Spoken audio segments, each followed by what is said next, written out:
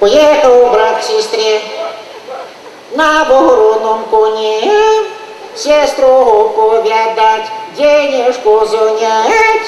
Подъехал еще было пора, там сестра открыла, дверь спрашивает, что тебе надо? А брат говорит, денежку занять до зарплаты никак не дотянуть.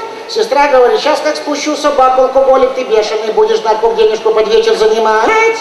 Обиделся братан, поехал к своему двоюродному брату денежку занять, подъезжает братан братана, тот открыл дверь, спрашивает, что тебе? А тот говорит, денежку занять до зарплаты никак не дотянуть. Братан говорит, сейчас как из берданы больной алкоголик ты бешеный, будешь знать, как денежку под вечер занимать.